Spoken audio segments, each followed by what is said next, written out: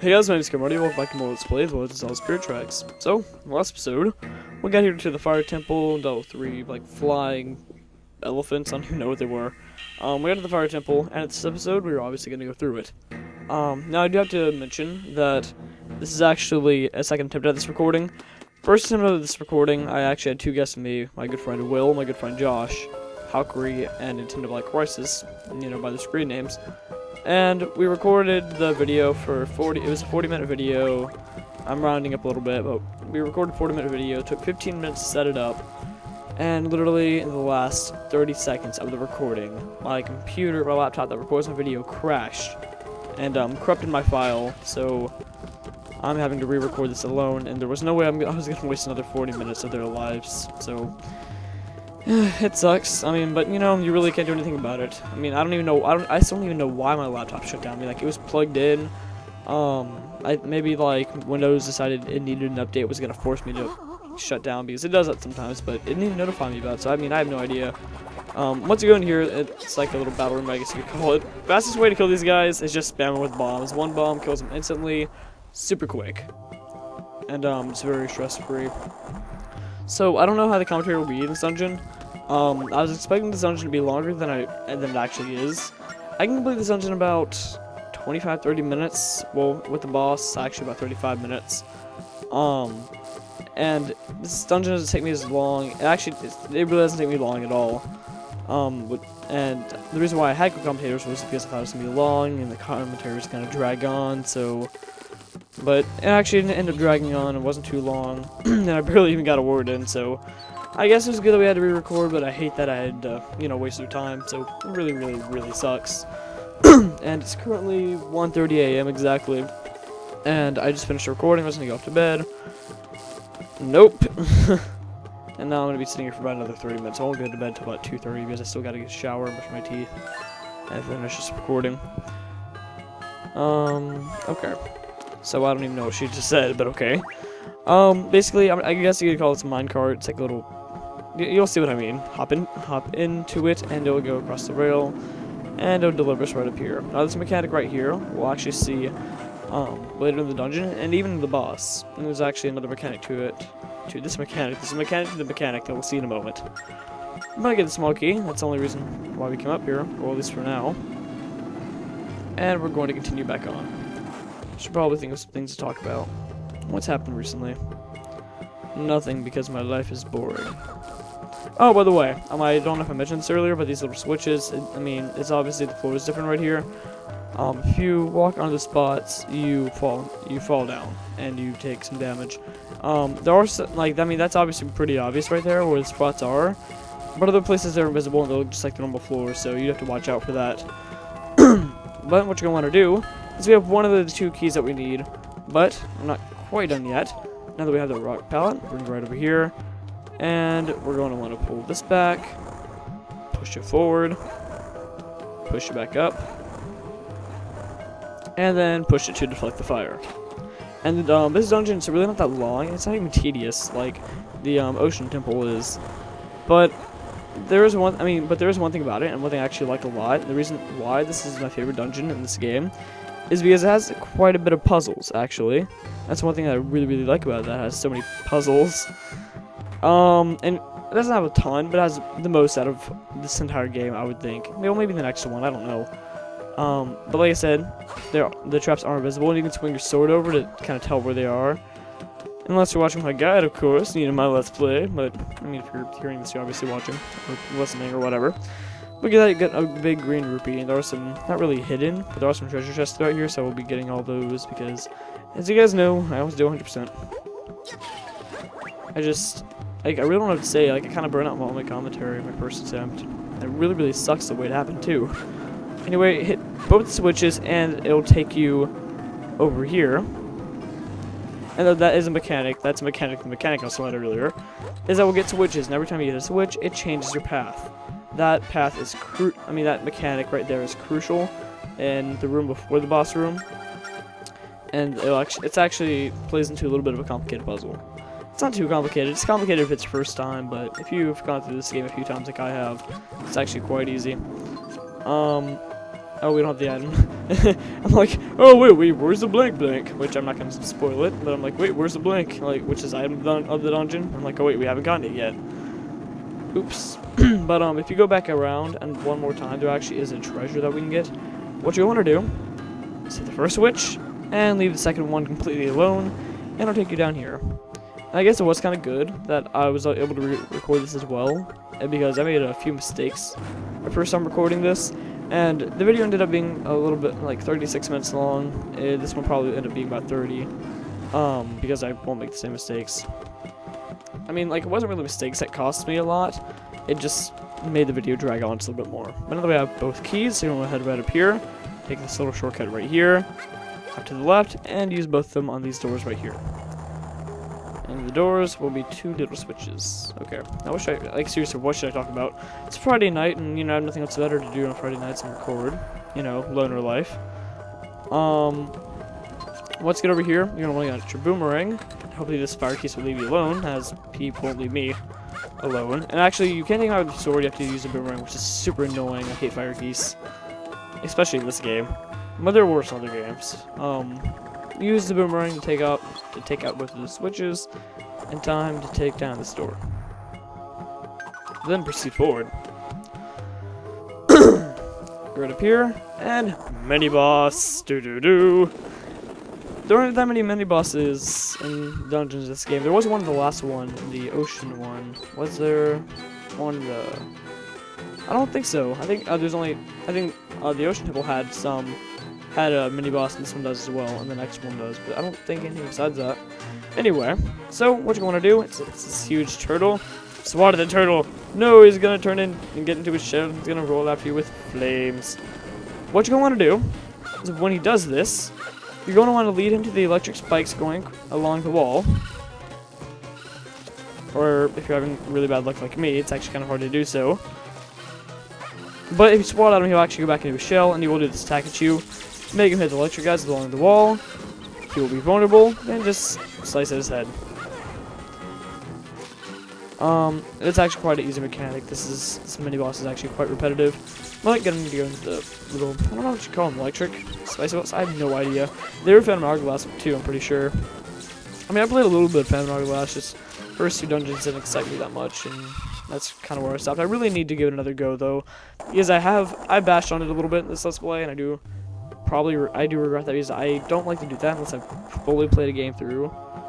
Um, so I probably shouldn't have done that, but I mean I'm sure it's a good game. I'm sure it is. I just need to give another try, and maybe I just had a bad view of it the first time I played. But once we do that, we get the bow and arrow, which is item of the dungeon. Um, and probably I think has the best controls out of any of the items in this game. I like it a lot because, um, I mean, I don't know, I mean, I feel like the touch controls worked really, really well with it. And also, I point I pointed this out many, many, many times. Using your R and L buttons really, really, really help in getting with with getting out items quickly.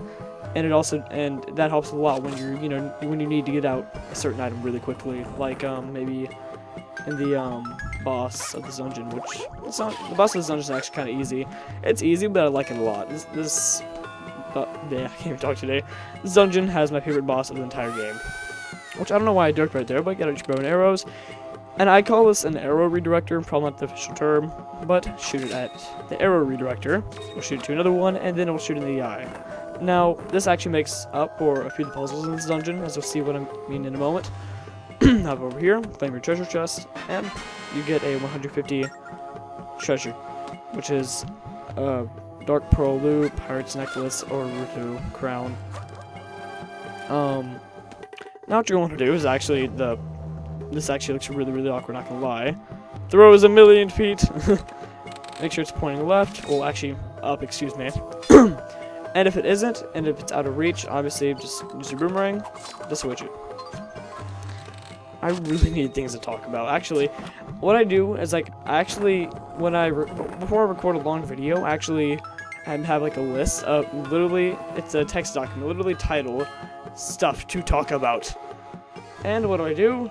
I write down things I need to talk about, or that I should talk about. It's like filler commentary.